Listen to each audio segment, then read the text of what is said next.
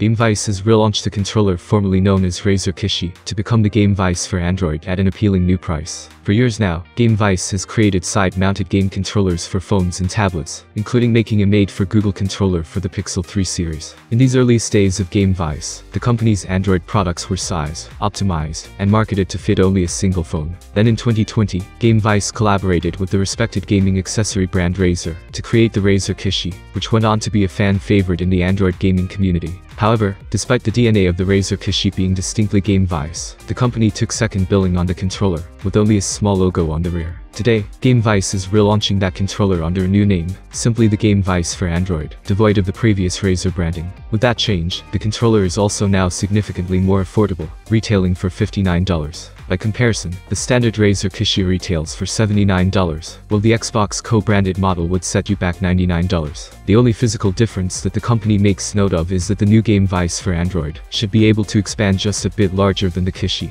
allowing it to accommodate larger recent devices like the Samsung Galaxy S22 Ultra. However, certain phones with thicker camera bumps most notably the Pixel 6 Pro, do not fit in the GameVice for Android. Just like before, the new GameVice features Xbox-branded buttons, dual joysticks, and analog triggers, everything a gamer should need to enjoy their favorite titles on both streaming services and locally. And when you're not using it, the GameVice collapses down to be conveniently stowable. In our review of what was then the Razer Kishi, we found it to be a perfectly competent controller, albeit with a few downsides that made it harder to recommend at $79, compared to contenders like the GameSir X2. At its newly reduced price point, the GameVice for Android is a far more compelling offer. Once it's installed, your phone is now essentially a Nintendo Switch, allowing you to game on Stadia or Xbox Game Pass, with your hands on the controls on either side of your phone, giving you a full view of the action. One minor detail that I appreciate is that the Razer Kishi also redirects the sound from your phone's bottom firing speakers to instead aim directly at you. The newly dubbed GameVice for Android along with models for iPhones and iPads is available now from Amazon or directly from GameVice. The controller also comes with a promotional code for new subscribers to enjoy one free month of Game Pass Ultimate streaming. Are you interested in the new price for Razer products? Write your opinion in the comments below. Have a nice day everyone, and see you soon.